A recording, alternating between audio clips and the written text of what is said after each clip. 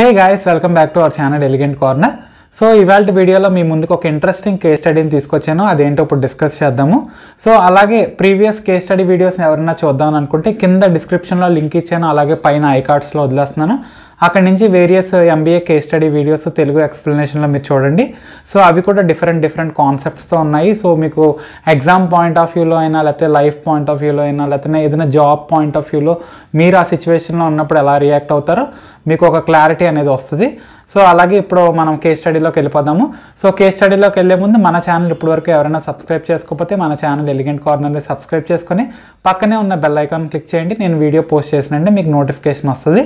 So ఇప్పుడు నేను టాగూర్ పబ్లికేషన్స్లో ఇంటర్నేషనల్ హ్యూమన్ రిసోర్స్ మేనేజ్మెంట్ ఈ బుక్లోంచి ఒక కేస్ స్టడీని అయితే తీసుకోవడం జరిగింది. సో దాన్ని మన కేస్ స్టడీని నేను చదువుతాను. చదివి నా పాయింట్ ఆఫ్ వ్యూలో నేనైతే ఎలా అటెంప్ట్ చేద్దాం అనుకుంటున్నాను. లేకపోతే నేను ఆ పాయింట్ ఆఫ్ వ్యూలో ఉంటే ఎలాగ దానికి రెస్పాండ్ అవుతానో మీకు ఇప్పుడు నేను చెప్తాను. సో కేస్ స్టడీ వచ్చేసి మిస్టర్ సామ్రాట్. సో ఇప్పుడు ఈ కేస్ స్టడీ చదివాను. ఈ కేస్ స్టడీ ఒక సమ్మరీ ఏమి ఇచ్చాడంటే సామ్రాట్ అనే ఒక హెచ్ఆర్ పర్సన్ ఒక కంపెనీలో అయితే జాయిన్ అయ్యాడంట. అది ఢిల్లీలో లొకేట్ అయిన కంపెనీ. సో కంపెనీ వచ్చేసి ఒక స్పేర్ పార్ట్స్ లాంటి పార్ట్స్ని మ్యానుఫ్యాక్చరింగ్ చేసి అయితే లేకపోతే కార్ ఇండస్ట్రీస్కి అని ఎక్స్పోర్టింగ్ అనేది చేస్తుందంట. సో అలా ఎక్స్పోర్ట్ చేయడం వల్ల ఆ ఇండస్ట్రీస్ ఆ పార్ట్స్ని తీసుకొని అసెంబుల్ చేసుకొని కార్స్ అవుట్పుట్స్గా అయితే ఇస్తారంట. సో అంటే బేసిక్గా ఈ కంపెనీ వచ్చేసి స్పేర్ పార్ట్స్ మ్యానుఫ్యాక్చరింగ్ లేకపోతే ఆటోమొబైల్ ఇండస్ట్రీకి సంబంధించిన పార్ట్స్ని అయితే మ్యానుఫ్యాక్చర్ చేయడం అయితే జరుగుతుంది. ప్రొడక్షన్ కంపెనీకి ఇతను హెచ్ఆర్ కింద వచ్చాడు. సో అతను ఏం చేశాడు అనేది ఈ కేస్ స్టడీలో చూద్దాం ఇప్పుడు. సో ఇలా జరుగుతున్నప్పుడు ఇతను కొత్తగా చాలా ఉత్సాహంగా ఉండే యంగ్ యంగ్స్టర్ యంగ్ ఏజ్ ఉన్న హెచ్ఆర్ మేనేజర్ అంట. సో ఇతను ఏం చేశాడంటే ఆ కంపెనీలో ఉన్న అన్ని రకాల పాలసీస్ని అన్ని రకాల సిచ్యువేషన్స్ని అనలైజ్ చేద్దామని స్టార్ట్ చేశాడండి ఫ్యూ డేస్ అనలైజ్ చేసేటాడికి అతనికి ఒక పాయింట్ ఆఫ్ వ్యూలో ఒక ప్రొడక్షన్ మేనేజర్తో బాగా లింకప్ అయింది. అంటే ఫ్రెండ్షిప్ బాగా ఏర్పడి వాళ్ళిద్దరి మధ్యలో ఒక జనరల్ కన్వర్జేషన్ జరుగుతున్నప్పుడు ఆ ప్రొడక్షన్ మేనేజర్ చెప్పాడంటే. ఏంటంటే మన కంపెనీ టర్న్ ఓవర్ అంతా చూసుకున్నట్టయితే బాగానే ఉంది. కాకపోతే మన వర్కబిలిటీ కానీ లేకపోతే ఎవరైతే లేబర్ కానీ ఎంప్లాయీస్ కానీ మన కంపెనీలో వర్క్ చేస్తున్నారో వాళ్ళకి సరైన కాంపన్సేషన్స్ లేక వాళ్ళు సరిగ్గా బయటకి వాళ్ళ ఫుల్ స్కిల్స్ని చూపిస్తూ సరిగ్గా వర్క్ చేయట్లేదు. దానివల్ల ఎక్కువ అవుట్పుట్ అనేది మనం సరిగ్గా రాలేకపోతుంది. ఏదో వచ్చిన అవుట్పుట్ తోటి మనం బయటికి ప్రొడక్ట్స్ని పంపించడం ఆటోమొబైల్ ఇండస్ట్రీస్కి అవే వాటి అసెంబ్లీ చేసుకోవడం అలాగే మన ప్రొడక్షన్ అనేది అలాగే రన్ అవుతుంది. అలాగే మన టర్న్ ఓవర్ అయితే రన్ అవుతుంది. సో వీళ్ళకి ఏదైనా కొద్దిగా ఉత్సాహంగా ఏదైనా జరిగి ఉంటే బాగుండు లేబర్కి లేకపోతే ఇక్కడున్న వర్కర్స్ కానీ జస్ట్ ఒక ఏదో చిన్న కన్వర్జేషన్లో ఆ ప్రొడక్షన్ మేనేజర్ అయితే చెప్పడం జరిగిందంట. సో అలా చెప్పేటప్పటికి ఇంకా హెచ్ఆర్ ఎవరైతే ఉన్నాడో సామ్రాట్ తన బ్రెయిన్లో ఇంకా అదే రివాల్వ్ అయిందంట. ఓకే నేను ఈ కంపెనీకి కొత్తగా జాయిన్ అయ్యాను కదా ఏదైనా కొత్త డిఫరెన్స్ తీసుకొచ్చి అందరిలో నేను సెంటర్ ఆఫ్ అట్రాక్షన్ కింద ఉండాలి. కంపెనీ కూడా మంచి గ్రోత్ గ్రో పాయింట్ నేను చూపించినట్టు అవుతుంది. ఏదైనా సంథింగ్ ఏదైనా కొత్తగా ఏదైనా చేయాలని అనుకున్నాడంటే సో ఎప్పుడైతే ఈ ప్రొడక్షన్ మేనేజర్ ఇలా చెప్పాడో సో ఈ పాయింట్ మీద అయితే వర్క్ చేయడం మొదలుపెట్టాడు. సో అన్ని రకాల ఫైల్స్ తీయడం గత పాత టెన్ ఇయర్స్ ట్వంటీ ఇయర్స్ నుంచి ఎంత టర్న్ ఓవర్ ఉంది ఎంతమంది లేబర్ వర్క్ చేస్తున్నారు ఎలాంటి ప్రొడక్ట్స్ని మ్యానుఫ్యాక్చర్ చేస్తున్నారు ఎక్కడ డిఫెక్ట్స్ వస్తున్నాయి ఇలా కొన్ని పాయింట్స్ చూసుకొని తను ఒక కంక్లూజన్కి అయితే వచ్చాడంట. సో ఆ కంక్లూజన్ ఏంటంటే ప్రొడక్షన్కి ఎవరైతే వర్క్ చేస్తున్నారో ప్రొడక్షన్ డిపార్ట్మెంట్లో వాళ్ళకి సరైన కాంపన్సేషన్ లేదని మాత్రం అతను అయితే ఫైండ్ అవుట్ చేశాడంట. అంటే ఏంటంటే ఫర్ ఎగ్జాంపుల్ ఒక పది మంది వర్క్ చేస్తున్నారు అనుకోండి పది మంది వర్క్ చేసిన అందరికీ ఒకే శాలరీ ఇస్తున్నారు. సో ఫర్ ఎగ్జాంపుల్ పది మందిలో ఒక ముగ్గురు నలుగురు వాళ్ళ లెవెల్ కన్నా లేదంటే వాళ్ళ ఇంటెలిజెన్స్తో లేకపోతే వాళ్ళ ఎబిలిటీని ఇంకా పెంచుకొని కొద్దిగా క్రియేటివిటీతో పని తొందరగా కానిచ్చుకొని లేకపోతే కొత్త స్మార్ట్ వర్క్ చేస్తూ అంటే హార్డ్ వర్కే కాకుండా స్మార్ట్ వర్క్ చేస్తూ వాళ్ళ టాలెంట్ చూపించుకుంటూ చేస్తున్న వాళ్ళకి కూడా సేమ్ శాలరీ కాంపన్సేషన్స్ కూడా సేమ్గా ఇస్తున్నారని తెలిసిందనమాట సో ఈ పాయింట్ని తీసుకొని సీఈఓ దగ్గరికి వెళ్ళి సో నేను అందరికీ మెమోస్ ఇద్దాం అనుకుంటున్నాను. ఎవరైతే మంచిగా వర్క్ చేసి మంచి ఎఫిషియన్సీ చూపిస్తున్నారో వర్క్లో వాళ్ళని ఐడెంటిఫై చేసి వాళ్ళకి ఎక్స్ట్రా పే కాంపన్సేషన్ రూపంలో ఇద్దాం అనుకుంటున్నాను. సో దానివల్ల చాలా ప్రొడక్షన్లో డిఫరెన్సెస్ వస్తాయి. కంపెనీకి చాలా మంచి గ్రోత్ వస్తుందని అతనైతే డిసైడ్ అయ్యాడనమాట అనమాట సో అలా డిసైడ్ అయ్యి సీఈఓ దగ్గర పర్మిషన్ తీసుకొని అందరికీ అయితే మెమోస్ ఇవ్వడం అయితే స్టార్ట్ చేశాడు. అందరికీ అంటే ఎవరైతే ఎఫిషియెంట్గా వర్క్ చేస్తున్నారో వాళ్ళకైతే మెమోస్ అయితే ఇచ్చాడనమాట. సో ఇక్కడ మీరు ఆలోచించండి. ఇంకా జస్ట్ కేస్ స్టడీ ఇంకా కొద్దిగా చిన్న పార్ట్ ఉంది. ఆ పార్ట్ చదివే ముందు ఆ పార్ట్ చెప్పే ముందు మీరు ఒకసారి ఆలోచించండి. ఇదే సిచ్యువేషన్లో సామ్రాట్ ఇలా చేశాడంటే మీకు ఏమనిపిస్తుంది? ఒక ఆర్గనైజేషన్ ఇలా ఉంది. అది ఒక ప్రొడక్షన్ని చేసుకుంటూ దాని టర్న్ ఓవర్ని ఇలా చేస్తుంది. ఇతను వచ్చి హెచ్ఆర్ కింద కొత్త అన్ని పాలసీస్ని చదువుతూ కంపెనీకి ఏదైనా చేద్దామన్న ఒక ఫీలింగ్తో వచ్చాడు అతను లోపలికి. సో అదే ఫీలింగ్తో ఉన్నాడు. ఒకసారి ప్రొడక్షన్ మేనేజర్తో ఫ్రెండ్షిప్ వచ్చినప్పుడు ఏదో చిన్న ఫ్లా అంటే కంపెనీలో జరుగుతున్న చిన్న ఫ్లా చిన్న పాయింట్ గురించి డిస్కస్ చేశాడు. సో ఆ పాయింట్ని తీసుకుని ఇతను చాలా మంచి పాయింట్ దీన్ని మంచిగా మనం డెవలప్ చేద్దామని సామ్రాట్ అయితే అనుకొని దాన్ని ఇంప్లిమెంట్ చేయడానికి స్టార్ట్ చేశాడు సీఈఓ దగ్గర పర్మిషన్ తీసుకొని. సో మనకి ఏమనిపిస్తుంది జనరల్గా చూసినట్టయితే అబ్బా అవును కదా నిజమే. ఈ పాయింట్ నిజమే. కాంపన్సేషన్ ఎక్కువ ఇస్తే జనాలు ఇంకా బాగా వర్క్ చేస్తారు. అనే పాయింట్తో మనం ఆలోచిస్తాము. కానీ ఈ కేస్ స్టడీ కంక్లూజన్ అయితే టోటల్లీ డిఫరెంట్ అండి. సో అందుకే ఈ కేస్ స్టడీని అయితే నేను ఎంచుకున్నాను. మనకు ఎక్స్ప్లెయిన్ చేయడానికి మన వ్యూవర్స్ ముందు మీ ముందుకు తీసుకురావడానికి. సో ఇక్కడ కంక్లూజన్ ఏమి ఇచ్చారంటే ఈ కేస్ స్టడీ ఎప్పుడైతే అతను మెమోస్ అయితే ఇవ్వడం స్టార్ట్ చేశాడో ఇమీడియట్గా నెక్స్ట్ డే నుంచి పెద్ద రివల్యూషన్ అయితే జరిగిందంట. So hundred percent negative feedback hundred percent negativity అయితే స్ప్రెడ్ అయిందంట. సో ఏ పాయింట్ ఆఫ్ వ్యూలో స్ప్రెడ్ అయింది? Two points of view two points ప్రకారం అది స్ప్రెడ్ అయింది. ఫస్ట్ థింగ్ వచ్చేసి ఇలాగ ఇమీడియట్ చేంజ్ని ఎవరు తీసుకోలేకపోయారు. ఏ డిపార్ట్మెంట్లోనూ whether it may production department finance department accounting department అలా మన ఒక ఆర్గనైజేషన్ అంటే వేరియస్ డిపార్ట్మెంట్స్ ఉంటాయి కదా. సో అలా ఏ పార్ట్లో కూడా ఏ డిపార్ట్మెంట్లో కూడా దీన్ని వెంటనే వాళ్ళు రిసీవ్ చేసుకోలేకపోయారు. ఎందుకంటే sudden drastic change so second వచ్చేసి చాలామంది అన్నారంట ఇలాగ కాంపన్సేషన్ చేస్తున్నారు ఇమీడియట్గా ఏమి ఇంటిమేట్ చేయకుండా. ఈ హెచ్ఆర్కే ఏదైనా బ్యాక్గ్రౌండ్ వేరే ఎవరైనా డిపార్ట్మెంట్ వాళ్ళతో కనెక్షన్ ఉంది? ఐ మీన్ ఫ్రెండ్షిప్ ఉంది లేదంటే అతనికి కావాల్సిన వాళ్ళు ఉన్నారు లేదంటే అతను టైఅప్ అయిపోయాడు ఇంత అమౌంట్కి అలాగా కొన్ని నెగిటివిటీ ప్రకారం అతన్ని డౌన్ చేయడానికి ఇలాగ కొన్ని రూమర్స్ అయితే స్ప్రెడ్ అయ్యి చాలా నెగిటివిటీ వచ్చిందంట. సో ఇదంతా వెళ్ళి హయ్యర్ అథారిటీస్కి మేనేజ్మెంట్కి పైన ఉన్న వాళ్ళకి మొత్తం సీఈఓ వరకు ఏదో సంథింగ్ డిస్టర్బెన్స్ జరిగిందని తెలిసిందంట. సో ఇమీడియట్గా సీఈఓ ఈ ఇష్యూని రిసాల్వ్ చేయమని సామ్రాట్కి అయితే చెప్పడం జరిగింది. సో ఇప్పుడు సామ్రాట్ ఎలా రియాక్ట్ అవుతున్నాడు? సామ్రాట్ ఎలాగా ఈ ఈ ప్రాబ్లమ్ని సాల్వ్ చేశాడు అనేది ఈ కేస్ స్టడీ సో చాలా లెంతీగా ఉన్న కేస్ స్టడీ అయినా చాలా ఇన్డెప్త్గా ఆలోచించాలి. సో ఇప్పుడు మనం ఇక్కడ అడిగిన క్వశ్చన్స్ ఏంటో దానికైతే ఆన్సర్ చూద్దాము. ఫర్ ఎగ్జాంపుల్ అతను చాలా మంచిగా చేద్దాం అనుకున్నాడు కాకపోతే అది మంచికి వెళ్తే చెడు చెడు ఎదురైంది అన్నట్టు చాలా డిఫరెంట్ వేలో అది అతనికి రియాక్షన్ అయితే చూపించింది. ఆర్గనైజేషన్లో ఎప్పుడు జరిగే ప్రొడక్టివ్ ప్రొడక్టివిటీకి ఒక చాలా సడన్ జర్క్ ఇచ్చింది అంత ఆర్గనైజేషన్ అంతా తిరిగి సామ్రాట్ వైపు చూసేలా చేసింది. సో అతను ఎలా సాల్వ్ చేశాడు ఎలా రియాక్ట్ అయ్యాడు ఈ విషయానికి అనేది మనం ఇప్పుడైతే చూద్దాము. సో అడిగిన ఫస్ట్ క్వశ్చన్ వచ్చేసి దీంట్లో will you agree with the Samrat decision what have implemented అని అడిగారు. సో ఫస్ట్ క్వశ్చన్ వచ్చేసి మీరు అతను తీసుకున్న దానికి మీరు అంగీకరిస్తారా? అని అడిగారు. సో అంగీకరిస్తే ఎందుకు? అని కూడా అడిగారు వై అని. సో ఇప్పుడు మనం ఫస్ట్ క్వశ్చన్కి ఆన్సర్ చూద్దాము. సో నేనైతే ఆ పొజిషన్లో ఉంటే సామ్రాట్ చేసిన పని కరెక్ట్ అనే చెప్తాను. సో కరెక్ట్ అని ఎలా చెప్తానో వినండి. సో ఆల్రెడీ మీరు అడగచ్చు ఏదేంటి కేస్ స్టడీ కంక్లూషన్ ఎలా ఉంది నువ్వు భయం మీరేంటి ఇలా చెప్తున్నారా అని అడగచ్చు. కాకపోతే ఒకసారి చూడండి. అతను ఇంప్లిమెంట్ చేద్దాం అనుకున్న పాయింట్ ఆఫ్ వ్యూ కరెక్టే ఎందుకంటే ఎవరైతే ఎఫిషియెంట్గా వర్క్ చేశారో వాళ్ళకి ఖచ్చితంగా డిఫరెన్స్ చూపించాలి. ఎవరైతే ఎఫిషియెంట్గా వర్క్ చేశారో. సో ఎవరైతే ఎఫిషియెంట్గా వర్క్ చేస్తారో వాళ్ళకి ఖచ్చితంగా అయితే డిఫరెన్స్ చూపించాలి. అలా డిఫరెన్స్ చూపించడం వల్ల ఏమవుతుందంటే వాళ్ళకి పే అనేది డిఫరెంట్గా ఉంటుంది. అలా పే రావడం వల్ల వాళ్ళు ఇంకా ఎనర్జెటిక్గా వర్క్ చేయడం మొదలు పెడతారు. సో ఈ పాయింట్ ఆఫ్ వ్యూ కరెక్టే కాకపోతే అతను ఇంప్లిమెంట్ చేసిన విధానంలో కొన్ని మార్పులు చేర్పులు చేయాలి. అప్పుడే అది మంచి success అవుదును.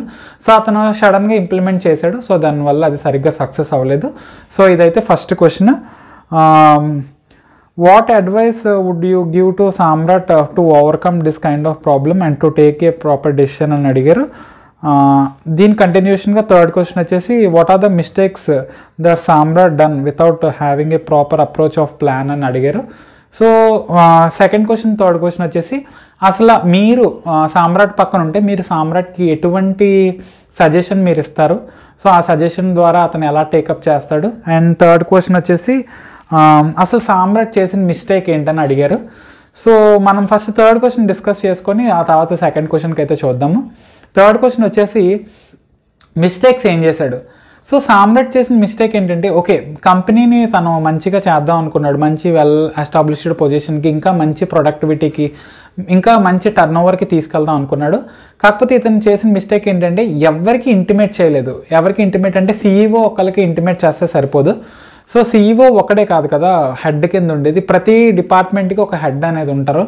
So CEO okay CEO ఆర్గనైజేషన్కి హెడ్ అయినా అతను చెప్పిన రూల్స్ ఫాలో అవ్వాలన్నా. సో మనకి సర్క్యులర్స్ ఎలా వస్తాయి ప్రతి ఆర్గనైజేషన్ ప్రతి డిపార్ట్మెంట్కి?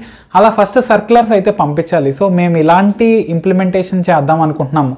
సో ఇలాంటి ఇంప్లిమెంటేషన్ చేస్తున్నాము. ప్రీ డిపార్ట్మెంట్లో అకౌంట్స్ డిపార్ట్మెంట్ అవనివ్వండి ప్రొడక్షన్ డిపార్ట్మెంట్ అవనివ్వండి ఫైనాన్స్ డిపార్ట్మెంట్ అవనివ్వండి ఇలా వేరియస్ డిపార్ట్మెంట్ అన్ని డిపార్ట్మెంట్స్కి lining manufacturing goods and services ఇలా అన్ని రకాల డిపార్ట్మెంట్స్కి అయితే అతను ముందు సర్క్యులర్ పంపించాలి. ఏంటి? మేము అసలు ముందు ఇలాంటిది ఇంప్లిమెంట్ చేద్దాం అనుకుంటున్నాము. సో ఇలా ఇంప్లిమెంట్ చేసాము సీఈఓ మాకైతే ఇలా పర్మిషన్ ఇచ్చారు. సో మేము ఇప్పుడు ఫర్ ఎగ్జాంపుల్ ఇప్పటి నుంచి వన్ మంత్ తర్వాత నుంచి దీనికి రిజల్ట్ చూద్దాం అనుకుంటున్నాం అనేది చెప్పాలి. సో అలా చేయకుండా ఏం చేశాడు? డైరెక్ట్గా సీఈఓ దగ్గర పర్మిషన్ తీసుకొని అట్ ప్రజెంట్ ఉన్నదానికే అతను కాంపన్సేషన్ ఇవ్వడం మొదలుపెట్టాడు.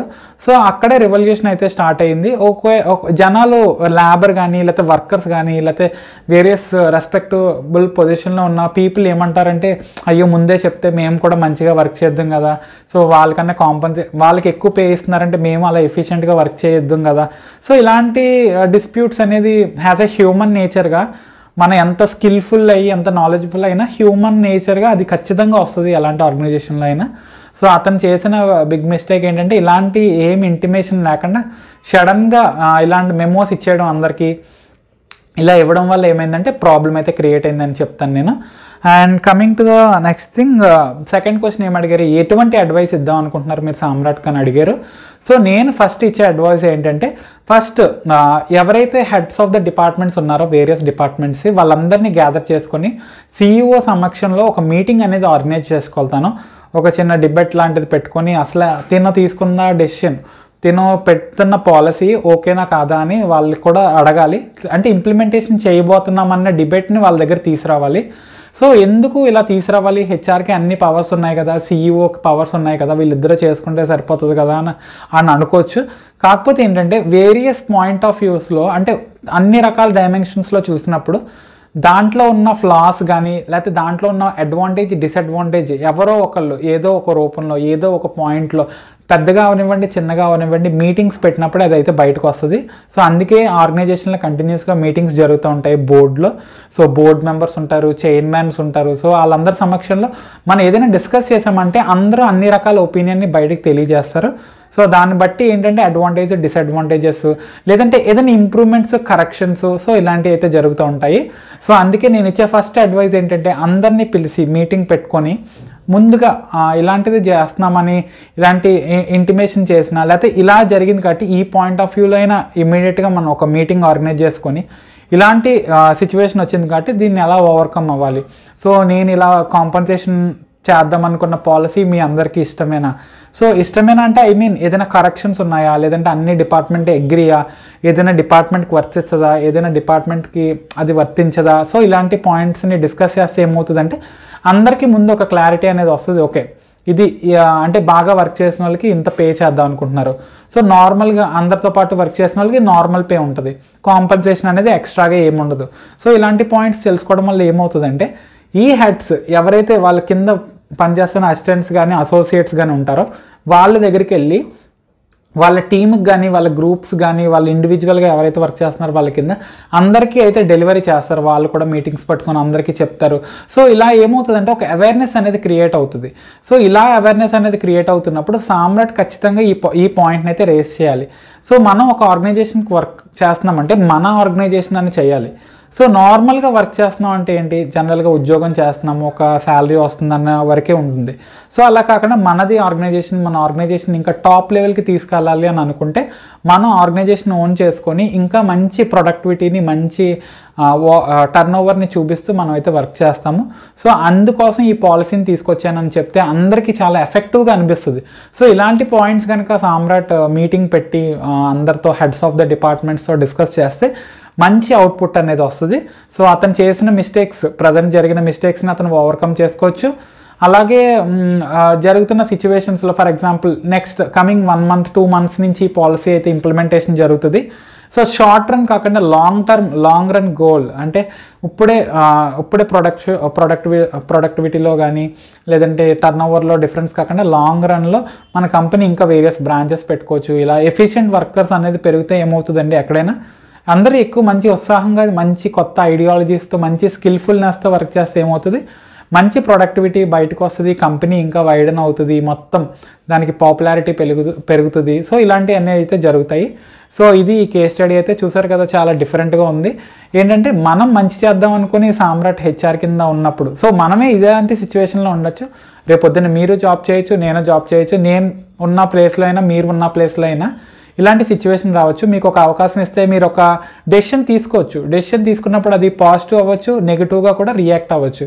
సో అలా నెగిటివ్గా రియాక్ట్ అయినప్పుడు మనం ఎక్కువ భయపడకుండా కంగారు పడకుండా లేదంటే డిస్కరేజ్ అవ్వకుండా సో దాన్ని ఎలా ఎదుర్కొందాము అని అనుకున్న దానికి ఈ కేస్ స్టడీ సో సింపుల్గా చెప్పాలంటే మంచికి వెళ్తే చెడు ఎదురైంది అన్నట్టుంది. సో అలాంటి దాంట్లో కూడా సామ్రాట్కి మనం సపోర్ట్గా నిలిచి ఏ పాయింట్ ఆఫ్ వ్యూలో తనకి అడ్వైస్లు ఇచ్చాము ఎలాగా తన మిస్టేక్స్ని మనం చదివాము అంటే ఎదుటి వాళ్ళకే తెలుస్తాయి కదా పక్కన వాళ్ళ మిస్టేక్స్ అలా ఏ మిస్టేక్స్ చేసాడో మనకైతే క్లియర్గా అయితే కనబడింది. సో ఇది ఈ కేస్ స్టడీ అయితే కాన్సెప్ట్ సో ఇలాంటి కేస్ స్టడీస్ కూడా ఎగ్జామ్స్లో అడగడం జరుగుతుంది. సో మీరు ప్రీవియస్ క్వశ్చన్ పేపర్ తీసుకుంటే మీరు అక్కడ ఇలాంటి కేస్ స్టడీస్ని అయితే తప్పకుండా చూడొచ్చు. సో ఇది మీకు ఎంతో యూస్ఫుల్ అవుతుంది. ఎందుకంటే ఒక పాజిటివ్ వేలో మీరు రియాక్ట్ అవుదాం అనుకున్నప్పుడు ఒక నెగిటివ్ వేలో రిజల్ట్ వస్తే అది డిఫరెంట్గా ఫీల్ అవుతాం మనం. సో అలాంటి కేస్ స్టడీ ఇది. ఇది జస్ట్ ఒక ఎగ్జాంపుల్ సో ఇలాంటి మరిన్ని కేస్ స్టడీ వీడియోస్ మన ఛానల్లో డెఫినెట్గా వస్తాయి. సో మీకు ఎలా అనిపించింది మీరు ఆ పాయింట్ ఆఫ్ వ్యూలో అయితే ఎలా రియాక్ట్ అవుతారో ఖచ్చితంగా కామెంట్ సెక్షన్లో కామెంట్ చేయండి. నేను ఖచ్చితంగా మీ అందరి కామెంట్స్ నేను చూస్తున్నాను. మీ అందరి కామెంట్స్ కూడా నేను రిప్లై ఇస్తున్నాను సో అలాగే మీకు ఏదైనా కేస్ స్టడీస్లో మీకు ఏదైనా డౌట్స్ ఉంటే ఖచ్చితంగా కామెంట్ సెక్షన్లో అయితే తెలియచేయండి. నేను రెస్పాండ్ అవుతాను. సో ఐ థింక్ uh, మీకు ఈ కేస్ స్టడీ రీచ్ అయిందని అనుకుంటున్నాను. సో ఇప్పటివరకు మన ఛానల్ ఎవరైనా సబ్స్క్రైబ్ చేసుకోకపోతే మన ఛానల్ ఎలిగెంట్ కార్నర్ని తప్పకుండా సబ్స్క్రైబ్ చేసుకోండి. అలాగే పక్కన ఉన్న బెల్ ఐకాన్ క్లిక్ చేయండి. సో మళ్ళీ నెక్స్ట్ కేస్ స్టడీ వీడియో అయితే మళ్ళీ కలుద్దాం. Signing off your Sai